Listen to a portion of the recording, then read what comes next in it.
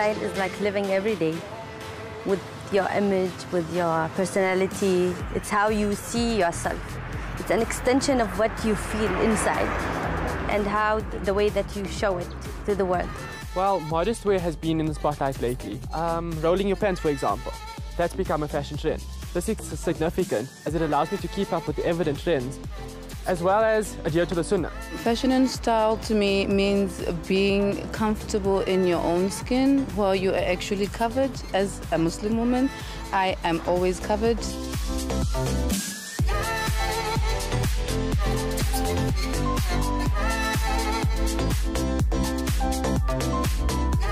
I'm wearing something that is unusual, not a lot of uh, Muslim women they can wear.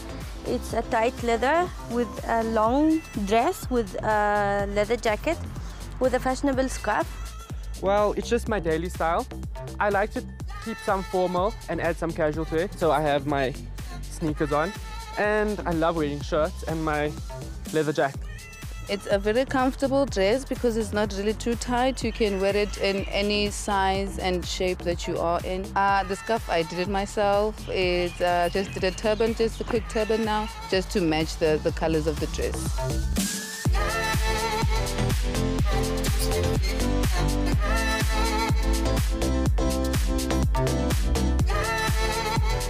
Accessories is a very important part. Uh, I'm wearing a black earring, a long one, and of course my wedding ring. I choose my outfit to fit this wedding ring because it's very precious for me. Islam plays a major role in choosing my style because I didn't used to think of Islam when I chose clothes.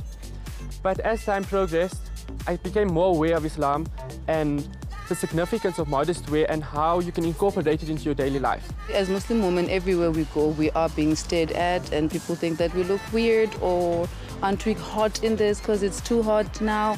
But now, no, we are, I'd rather be looked at in that way uh, because I'm actually covered than actually be looked at when I'm naked and I'm not comfortable with that or being in tight clothes. I just put these colors together so that I can just have a mix of colors that fits my skin tone. What I feel like for the day will determine what I wear for that day. So if I feel funky, then I'll wear something funky. If I feel really casual for that day, then I'll just wear something really casual. I like wearing dresses. It's more comfortable. I just like being comfortable most of the time because I'm a very laid-back person.